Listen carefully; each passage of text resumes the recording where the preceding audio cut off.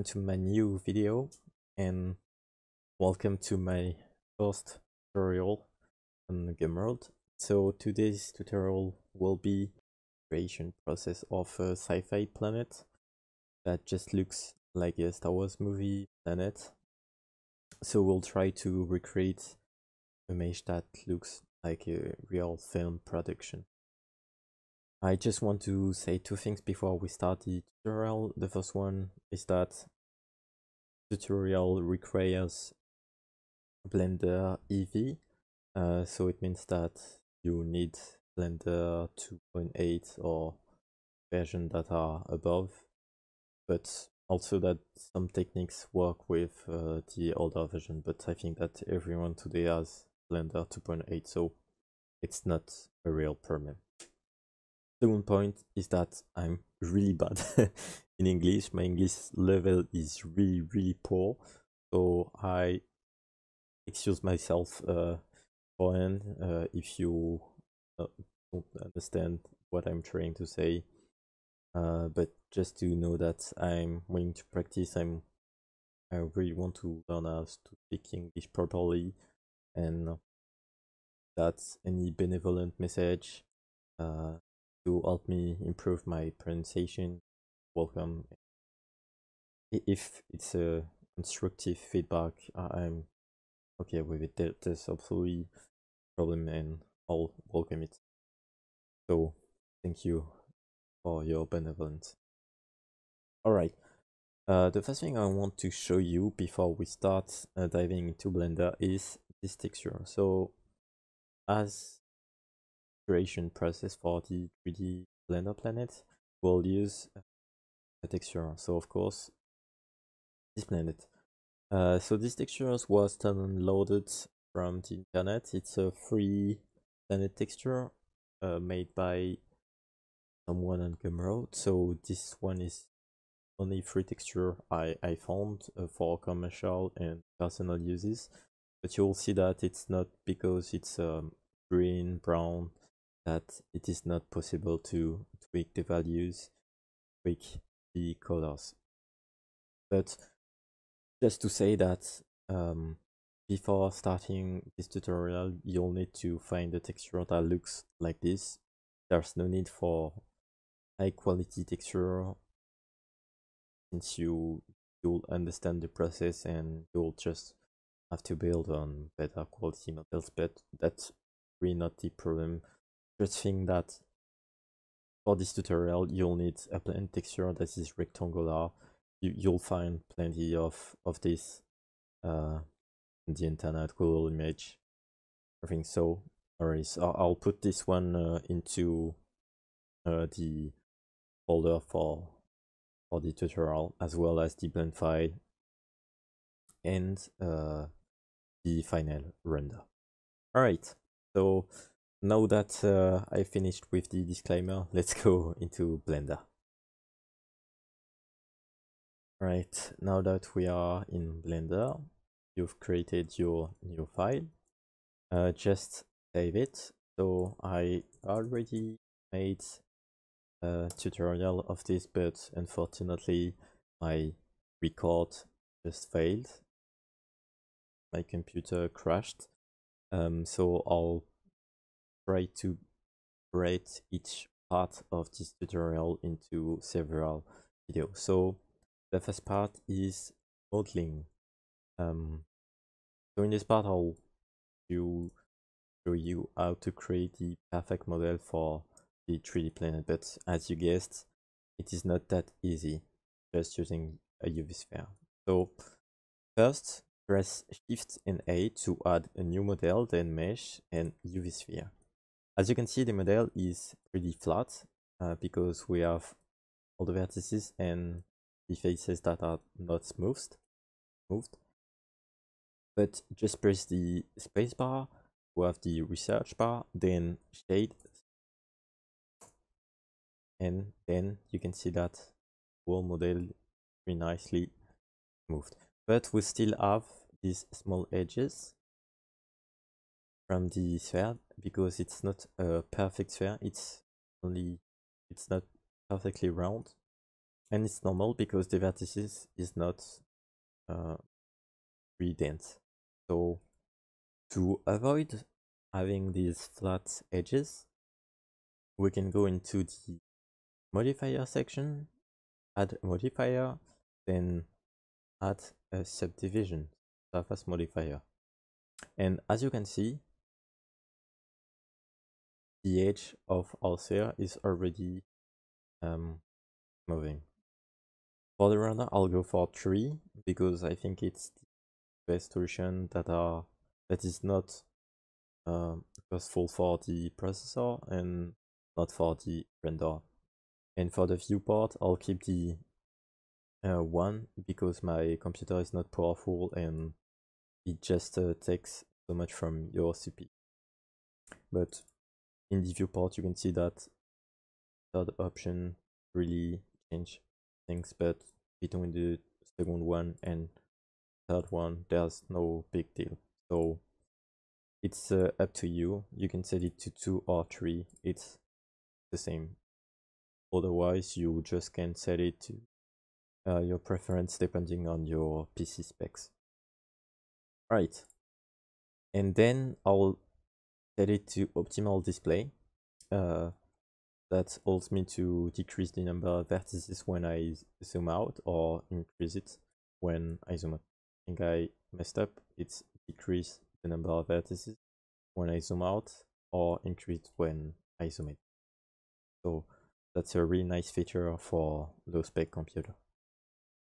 Alright, uh, now that we have our perfectly made planet, I'll just add a circle circle and resize it.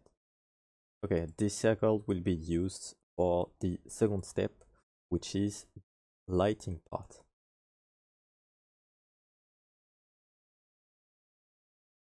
So the lighting part starts by adding some lights to the scene, and we here we have four types, then but I'll only use two of them. So the first one is the sun light types that I will set above the model. And the second one is an area light that I'll set um, behind so when I'm in front uh, with the sun lamp. So uh, basically it will be under it. And I'll rotate it around the x-axis by 180 degrees so that it's facing the top or it's facing the up vector. Alright, let's go into the light properties. Um, I think I'll just disable uh, the area for, for the moment. Alright, and if I go into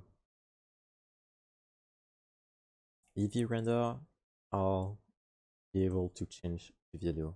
So as we can see, when we change the height of the sunlight, nothing happens. So I'll set it to this size, but this is pretty normal. So for that, you just have to change the strength of light. What I want to aim for is a really nice gradient between the middle level of the planet and top level. So just increase strength this until you get something that is white. Right, so yeah, 4.5 is pretty good for this. And the specular value just allows you to uh, increase the size of the white reflective or disk on the model. So I'll just set it to 1.5. And then uh, I'll change the color so to get warm or a color that is approaching the color of the sun when we're watching it from Earth. So perfect above that shiny orange. Alright, let's save it to the material view. And default yes, we can see it and it's not the Eevee render. That's easier for me and you can remove viewport so now I'll just have to accept area lot and we want the same but something that is really well blended with the tone of the planet. For that increase the size. Oh wait. Increase the size like this and set it set the shape to a disk. Disable the shadows and tweak the height so you can get a really nice blend from it. Like this. Or just change it the value and reduce the distance from the plane we have a really nice planet to finish with the lighting part, we've changed the color for sunlight and we've changed um, the size of the area light uh, bottom. We can change the color value to change the intensity of the white reflective disk on the bottom part. So just as the same for the sunlight, I would set it to 1.5. Right, and now uh, because these lights can move freely, I wanted to set them as tiles as circle. For that, I'll click on both lights and then on the circle so that the one that is active circle and I'll press Control P to parent the area light to the circle like this. And when I rotate the circle you can see that the area light follows. Same process for the sunlight. Control P object. And I when I rotate it you can see that the light and the area are rotated around right. Great. Now the time for shading. The shading part is a bit more complicated because we are going to texture this model. For that we'll need this shading frame let's go into it change basic value so that match same as the viewport and disable uh, the wireframe for area lights for the select your model rename it planet and create a new material move it on the right. Node editor and press shift A add an image texture. It's on clicking by open that you can open texture for your planet.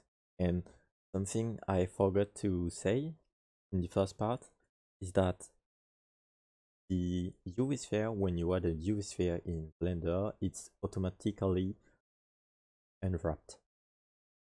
So when I select it as you can see everything match the size of the planet. So there's nothing for us to do and that's really really appreciable all right back to the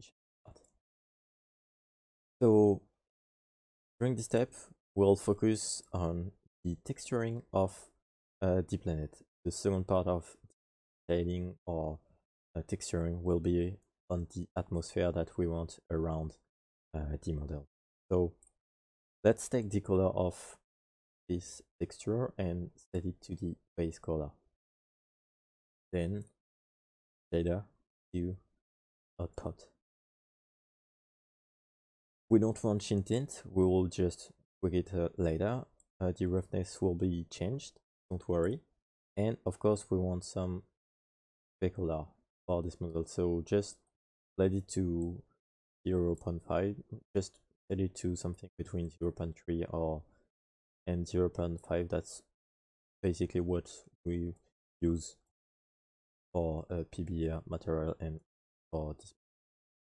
Alright, next uh, thing we want to what is an RGB curves node? Why? Uh, simply because I want to change color of picture, not because I dislike it, but because I like warmer pictures, and I think they sh they shows this uh, type of picture shows more information about picture, and I think they are much more interesting for a render. So I won't hit the combine for the moment, but I'll just green and blue.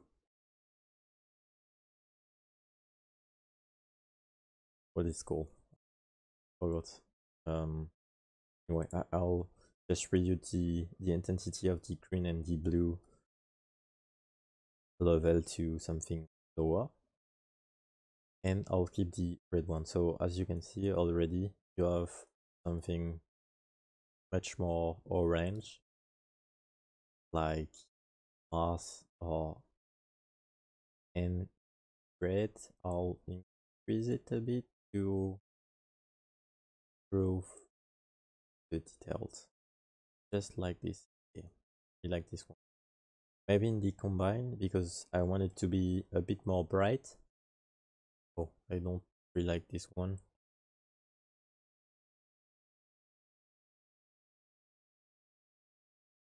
Yeah like this very nice. So in the combine as I say I, I want it to be brighter I'll just improve. Like this yeah looks perfect now or well, I think we can even improve uh, the texture but I'll keep it for this later. The second one you want to add is the hue saturation value. Why? Simply because you can change color with it. But because I already changed it with the RGB curves I'll keep the hue value. But the saturation I want it bit brighter with a bit more contrast. So yeah 1.1 is is okay. And the value uh, because I want it to be brighter as well because I improved contrast oh, now we have a really nice with blue and orange. That's much more attractive. All right uh, we finished with the base color. And now we can add some details to the model with a bump. The bump node is used to utilize the details of the map texture create some details on the surface. They put it from the normal to the normal of the PBR, we can see that all of the small details from the texture are transformed as height difference. But that that is too much for, for us, so I'll decrease it to something really really low so that only the details appear on the middle of the so something 0 0.025 or 0 0 3 we don't need that that much. 0 0.025 is really fine it's fine yeah. No need for more. And also we have this big island right at the bottom uh, which is a bit annoying. So I'll add a color ramp. Change the texture to it and then change the roughness of the texture using this color ramp and when change this value we have first reflectiveness. We can see that the, the island at the bottom is increasing as well as this part. Change. Still have them but modify their value so that it's not perfectly mirrored. Yeah, looks perfect. Right. because we're on the second part, I'll just it frame. Frame as zero. This.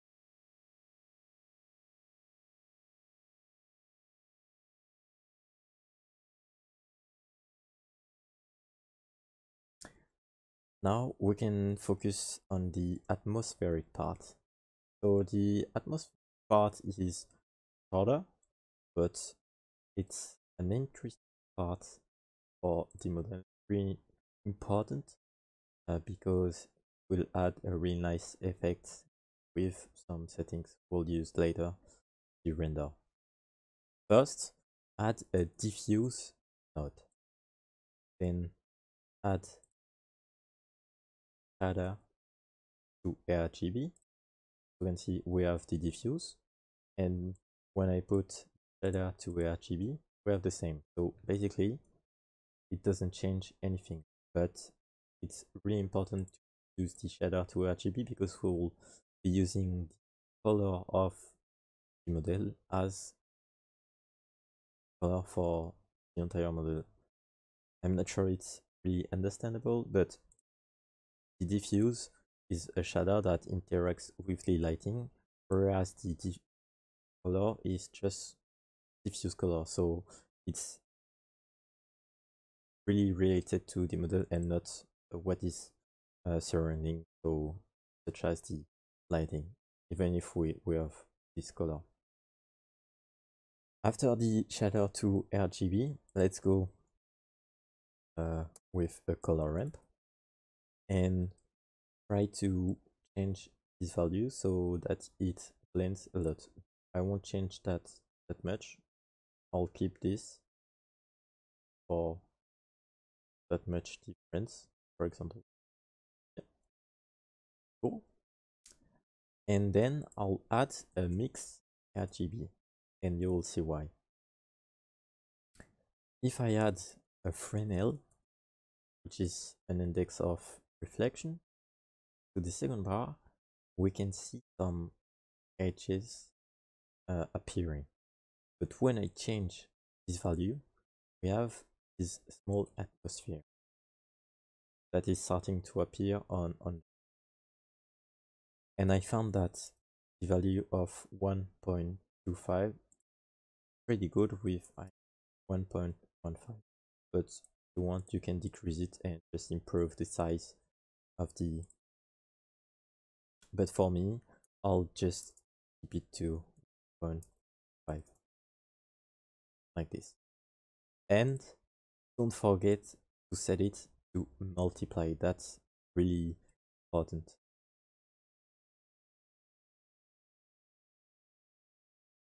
Change the factor so that we have something that is fully black and white. And you may need to change your index of section again. But as you can see this one pretty nice. All right and now we use a color ramp like this to change factor of this. So if you want, you can set it to 1, no need for a color ramp, or you can use this to reduce a bit the note change the value by, by yourself to that. As you can see, you can tweak almost everything.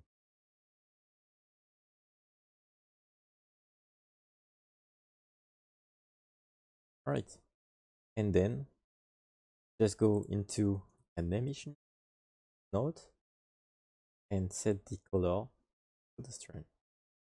Change the color to something you like, for example, blue for a blue atmosphere, this, or orange, or green, or blue.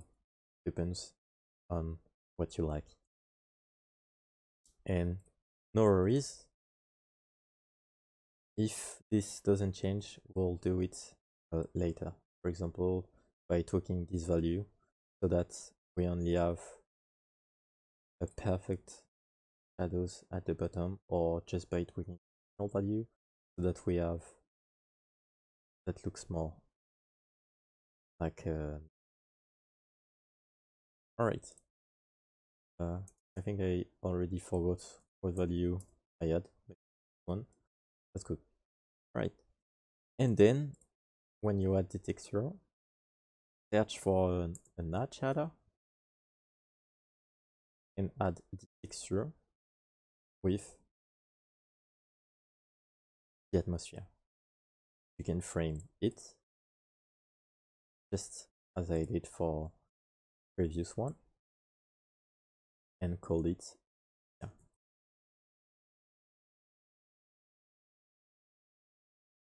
Alright. And as you can see, you have your planet with all atmosphere, deep blue atmosphere left. Of course, you can change the color to the type of atmosphere, but I really like this one because it looks like a fog or something. Really reminds me of uh, stuff. Alright. Know that uh, shading part is done. Change the color of this node. Do because it's color of the atmosphere. And we can start by going for the rendering. Right. Okay. We finished the shading part. Let's head back to the layout uh, because we've done the model, now we want an environment that looks like space. So go into the world and change the color to something black. Disable everything so that we can really focus on the rendering settings. And of course, it's render button viewport shading. So it's basically the EEVEE render. Then set your render settings to something you like, 32 because that's something I used to use for, for my computer. No need for ambient occlusion, but something really important, which is bloom. And I found some settings, so I'll propose you to follow what I use. Um, for the threshold, uh, I keep 0.8. I think it's a good value. But for the knee, I set it to something bigger, like 0.7. For the radius, I set it to lower because I don't want it to be too much over the planet. And for the color, I something warmer that remains the color of the light. And for the intensity, I decrease it, but the intensity and the radius works together. So if you reduce the intensity, sometimes you want to improve the radius. And I keep the clamp value to 1. Now, no need for depth of field, subsurface scattering no need as well, but um, oh yeah, that's in volumetric. You want to disable volumetric lighting since uh, the scene is in space. No need for this. No need for motion blur as well. There is no movement of object, so model is static. But we want to change the shadows to 256 and the soft shadows button. Why? Um, that's only to reduce work from the CPU. So 256 pixel is yeah that's enough for our work. There's no need for, for more. No air, no direct lighting, but you can bake them. Uh, but in this case, just reduce the cube map sizes. And for the diffuse, keep it to 3, that's, that's basic. Uh, the film on it because we are not using a transparent background and the color management. I'm not a huge fan of this because you can still use it for compositing or in different image editing software such as Photoshop. I that's just the tuple and the freestyle. There's no for it.